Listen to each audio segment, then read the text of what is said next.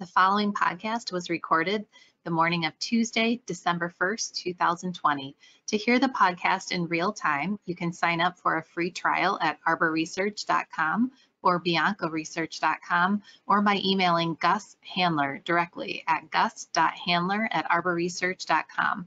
You can also call Arbor Research and Trading at 1-800-606-1872. Thanks for your time and enjoy the podcast. Welcome to the latest edition of Talking Data. Our Talking Data series seeks to offer timely insights into macro market themes along with macro data and its impact on the economy and markets. I'm Kristen Radosh of Arbor Research and Trading, and I will be your host today. Our presenters are Jim Bianco of Bianco Research and Ben Breitholtz of Arbor Data Science. Today, Jim and Ben will be discussing long-end yields that are once again moving higher. Can it last? Jim, we're going to get started with you today. Are yields finally playing catch up relative to past global recoveries? Yeah, thanks. Um, before I answer that question, I, I do feel like I, I should mention something at the top. Um, a lot of people listening to this podcast are probably not bond investors. Oh, what do I care about bonds if they move up or they move down? Given, as we've talked about in our previous uh, podcast, the big valuations that you have in the uh, in the stock market indices. If yields were to head up higher a lot, that could really put a real crimp on risk assets. So it matters more than just for bond investors what's going on. Now to your question, are they playing catch up? That's been my contention all along, that I've always been holding the view that the bull market in bonds ended in March at 33 basis points in the 10 year and that we would eventually start to see yields head higher. Um, sort of are kind of heading higher. They're in back into around 91, 92 basis points. Uh, not enough to declare victory. They hit 97 basis points a couple of weeks ago. But I do think that the recovery that we've got and the belief that maybe inflation will start percolating is going to keep pushing yields higher from here and I suspect that that will be the case. Uh, before I turn it over to Ben, I'll just say one other quick thing about that. Um, what if I'm wrong, and what if we do trade back down to 33 basis points on the 10-year yield? Uh, the only way I see that is a very bad scenario in the economy. World economy, U.S. economy has to fall back down to something that had approximated what it was back in the spring. So in order to get yields back down at that point, I think it would have to be very bad. Ben, what about you? How about this uh, rise in yields? Yeah, I think that's the spot on point. So as everyone's seen in the media today and yesterday and, and, and, and last week, where people are stacking up all of these items that typically correlated with 10-year note yields post-crisis. And that's things like ISM manufacturing that came out, you know, rather strong today. The copper gold ratio, yeah, we can make fun of that as much as we want. There was a correlation, but that says yield should be much higher. Uh, percentage of economies that are growing around 65%. That should imply that yields should already be at around one and a quarter percent for 10 years. I mean, you go down down the line. Um, and so I think that if yields were going to drop, yeah, I would agree. It'd have to be a pretty uh, disastrous scenario, or the Fed would have to come in with an incredible amount of, of, of you know gunpowder um, to get that to happen, which I just don't, just don't see see that occurring. If you look back at past global recoveries since 1960, um, out of global slowdowns, which there's a, approximately six of them, typically yields do what they've done. They fall 125, 150 basis points, um, and then they slowly grind back to the upside. Now we're at a point where for the next three months, yields, uh, looking at the average move, should rise about 50 basis points from here into you know the middle um, end of a Q1 next year. We're starting to kind of lose pace with that. So the question really, I think, for the court and investors is, fine, everything is start it is saying that yields should be going higher, but they're not, and investors aren't positioning for that either. Um, if you look at swaption premiums and so on, and it, it's kind of which we'll get at, at our last point here, kind of this battle between Fed policy, its guidance, its willingness to keep rates low, again, which is coupled with the lack of inflation versus pretty much everything else saying that we should be getting higher yields um, moving forward. So um, it's it's going to be a debate that's with us here for a while. Yeah, just to follow, just to put closure on this one section, I just say, remember that yields in general should follow expected nominal growth in an economy. As I've like to say, why do some economies have a 10% yield and others have negative and others have five? Well, look at what their expected nominal growth is, not their past, but their expected nominal growth. Nominal growth is made up of inflation and real growth. Well, for the last 25 years, we haven't had any inflation. So people have shorthanded that to mean that it's all about real growth. And that's why, as I jokingly said, that when yields go up, everybody breaks out in a course of God bless America because it means that real growth is going and, it, and earnings are going. And that's why yields are going up. And that's why we all want to see higher yields. Well, that's been the case for 25 years. But the question now is, is that nominal growth now going to have a bigger inflation component to it as we move forward? Now, again, I've argued on these podcasts, if you give me core inflation at two and a half, I'll define that as an inflation issue, if not problem. I'm not looking for something approximating the late 70s or early 80s. And that, excuse me, and that should get interest rates moving and moving higher. So if rates are going up and if growth is returning, I think it's also important that we understand why. Is it all real, which is not a bad thing, or is part of it inflation, which we haven't seen for a while? And a lot of people have kind of forgotten that it can happen, but it can happen, and we'll see whether or not we get that as we move into 2021. Kristen. Yeah, so you touched on inflation, and maybe Ben, you can take it next just to dive more into um, inflation expectations.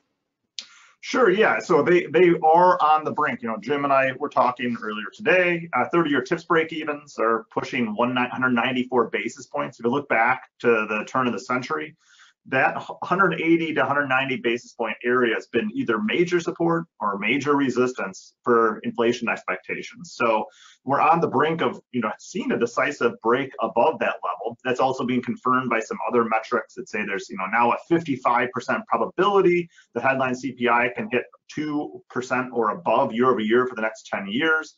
So all this stuff is kind of culminating and starting to move in the direction that, yeah, okay, there's going to be some inflation here, not in the long-term horizon, but really potentially, um, you know, in the near term. And I think what is then happening um, is that a lot of the asset classes are now beginning to uh, more or less detach, lose the correlations, like the stock bond correlation that Jim talks about so much has lost its negative um, correlation in recent weeks and months. Um, same thing with like the VIX that I've always talked about, VIX versus TIPS break evens correlation. That's all of a sudden uh, starting to turn positive, meaning that inflation uh, becomes a hindrance to risk assets. So we have all these things that are culminating and really on the precipice. It's just that we haven't seen that that lunge yet. And I think for me, that is, um, you know, kind of relying on some of the more basic models of decomposing 10-year note yields and putting them into what Jim said, inflation premium, the, you know, real term premium, um, and risk premium. And unfortunately, that inflation premium hasn't shown up yet. Uh, it's really been really flat, uh, even while TIPS break evens have widened so much thanks to liquidity um, uh, premiums coming down. So it's it, this next number of weeks um, could be a big deal um, based on what happens to the correlations of risk assets relative to TIPS break evens, inflation, and yields, um, and then also uh, the actual inflation prints themselves, and then what yields ultimately decide to do here to chase econ, improving econ growth or not. Um, so I think the onus is on investors finally pulling the trigger. I don't think that um, they need more ducks necessarily to, to line up. I think it's more or less, are they going to have the conviction um, to potentially fight the Fed a little bit um, and really drive yields higher and fully believe in this uh, reflation story? Completely agree with you on all of that. And I do think you're right. It's important to emphasize that if you want to deconstruct the data or look at the data, and if you say, okay, where is the inflation right now? It's hard to find it.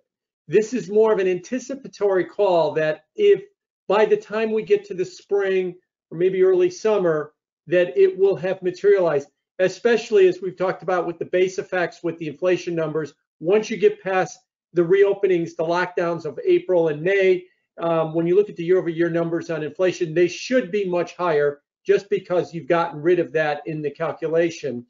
and that's known and understood. But I also think that on top of that, we might continue to see more of it. So it is an anticipatory call. And the other thing I want to point out, Ben, when you say the, the, the you know 190 for this century, I'm old enough to think that that's 1900 when you say this century as well.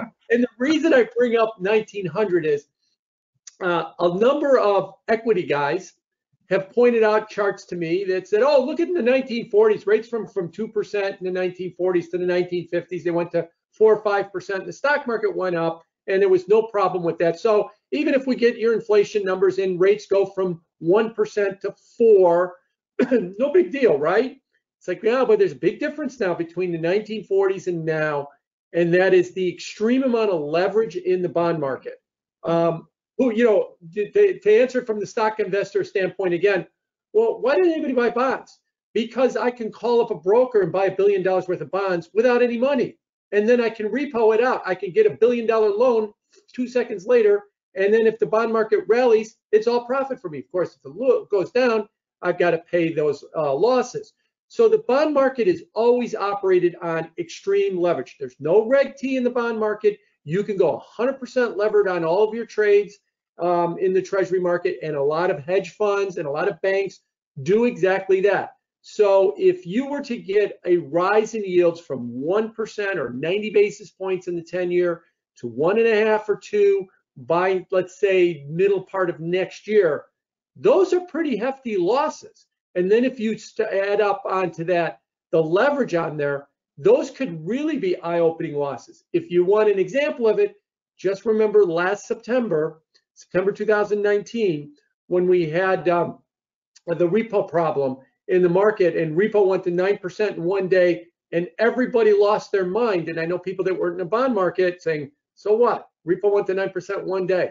Well, you're not borrowing a billion dollars on 100% leverage and then watching your financing costs go to 9%. If you were, you'd freak out as well too. So keep in mind that these rise in rates, um, even though they don't sound a lot, a lot to the non-bond professional, they can materialize into something. If again, I'm presupposing that we do have a rise in rates, that uh, they can materialize into something quite significant, even for risk markets. Any final thoughts to summarize our topic today? Yeah, let me uh, jump real quick on uh, what uh, Jim was just saying. I think that you know the the onus here being anticipatory. I think now means that again the onus is on investors. And I, as much as I don't love technical analysis, I think that really tracking um, the momentum and the amount of volume and inertia, especially maybe even an implied volatility front behind this move in yields is going to be uh, critical uh, because I think they're kind of again they're the last the last rung here, the last step of what needs to happen because they've been so ingrained in believing rates would remain so low, the curve would remain so flat, the Fed's always going to come in, don't don't worry. That it's their conviction, it's investors' conviction here that's finally going to allow yields to pop. It's not all of these things that are set, setting up. I mean, the the outlook is good. Um, you can see, like you were j- joking, Jim, in our last podcast, the Roaring Twenties is a very common theme. Um, and we have, you know, 1.4 trillion in savings that's just sitting there to be spent once this vaccine um, is available. So there's a, there's a lot of um, optimism. It's just that bond investors haven't capitulated yet, um, and so that's why I think you got to watch for those breaks. High volatility. I'd like to see some implied vol come back to treasuries. We got the little bounce that Jim and I thought was going to happen into the election, uh, but I'd like to see some, uh, you know, fear of higher yields, some uh, hedging, for example, on the swaption front, um, and so on, and then some technical, real technical moves there in yields, not just these quick seven, eight, nine basis point rises uh, that eventually fall flat. So, um, you know, put on your technical analysis hats um, and watch that momentum as closely as you can.